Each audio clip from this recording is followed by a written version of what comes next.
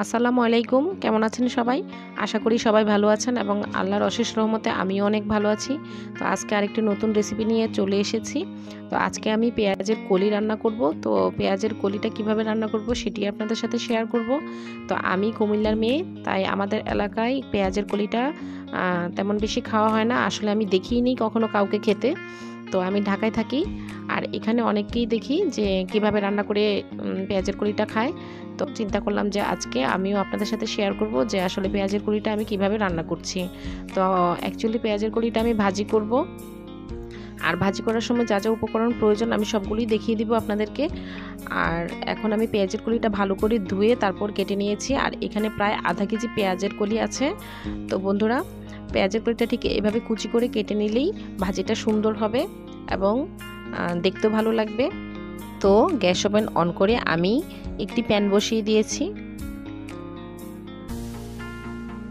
তো বন্ধুরা, এখন আমি এতে দিয়ে দিচ্ছি সয়াবিন তেল, অর্থাৎ খাবার তেল। তো এখানে আমি বড় টেবিল চামচে এক চামচ পরিমাণ সয়াবিন তেল দিয়ে দিচ্ছি। আপনারা আপনাদের পরিমাণ মতো দিয়ে নেবেন।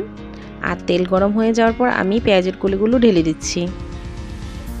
তো দেখুন বন্ধুরা, পেঁয়াজের কলিগুলো একদম সবুজ আকার ধারণ করেছে, অর্থাৎ একদম সবুজ দেখা যাচ্ছে। কালারটা আসলে রান্না করার পর থাকবে না। আর এখানে আমি প্রথমে দিয়ে দিচ্ছি চার থেকে পাঁচটা কাঁচামরিচ, আর আমি এটি চির করে নিয়েছি, দেখতেই পাচ্ছেন। এখন দিয়ে দিচ্ছি হাফ চামচ পরিমাণ ভাজা জিরা এবং ধনিয়ার গুঁড়ো, আর সেই সাথে দিয়ে দিচ্ছি স্বাদ মতো লবণ। এখন দিয়ে দিচ্ছি হাফ চামচ পরিমাণ হলুদের গুঁড়ো। তা আমি এগুলো ভালো করে নেড়ে চেড়ে মিশিয়ে নিব। তো যেহেতু পেঁয়াজের কুলিটা একটা পাতা, আপনারা সবাই জানেন, তো এটা থেকে পানি উঠবে, আমি দেখিয়ে দিচ্ছি। তো দেখুন বন্ধুরা, এখান থেকে কিন্তু একটু পানি উঠে এসেছে। তো আমি কিছুক্ষণ ঢেকে এটা রান্না করব। তো আমি ঢেকে দিচ্ছি। আর দশ মিনিট পর আমি ঢাকনা উঠিয়ে নিচ্ছি। তো দেখুন বন্ধুরা, অনেকটাই প্রায় রান্না হয়ে এসেছে। তো পানিটা শুকিয়ে যাচ্ছে। আর যতক্ষণ পর্যন্ত না পানিটা শুকিয়ে যাবে, ততক্ষণ পর্যন্ত আমি এইভাবে নেড়ে চেড়ে রান্না করব। আবারও ঢেকে দিচ্ছি। আর খানিক্ষণ পর আমি ঢাকনা উঠিয়ে আবারও নেড়ে চেড়ে ভাজি করে নিব। তো বন্ধুরা, কিছুক্ষণ এইভাবে নেড়ে চেড়ে ভাজার পর তারপর আমি এতে ডিম দিয়ে দিব। কারণ পেঁয়াজের কলির মধ্যে ডিম ব্যবহার করলে অবশ্যই ভাজিটা অনেক সুস্বাদু হবে। তো বন্ধুরা, আমি একটি ডিম দিয়ে দিয়েছি।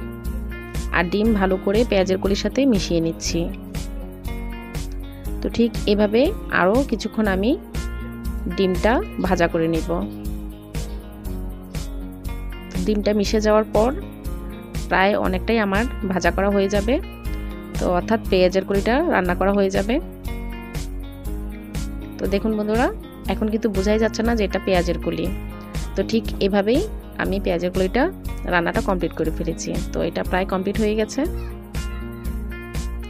তো দেখুন, তৈরি হয়ে গেল খুব অল্প সময়ে অল্প পরিমাণেই পেঁয়াজের কলি ভাজি। তো বন্ধুরা, আশা করি আমার আজকের রেসিপিটি অনেক ভালো লেগেছে। তো আপনারাও এটি বাসায় ট্রাই করে দেখবেন। তো যারা আমার চ্যানেলে নতুন এসেছেন এবং আমার রেসিপিটি দেখছেন, অবশ্যই আমার চ্যানেলটিকে সাবস্ক্রাইব করবেন এবং সেই সাথে পাশে থাকা ছোট্ট বেল বাটন প্রেস করবেন। তো বন্ধুরা, আজকের মতো এখানেই বিদায় নিচ্ছি। সবাই ভালো থাকবেন, সুস্থ থাকবেন এবং আমার জন্য দোয়া করবেন যেন আরও ভালো রেসিপি নিয়ে আপনাদের সাথে শেয়ার করতে পারি। তো আজকে এই পর্যন্তই। আল্লাহ হাফিজ।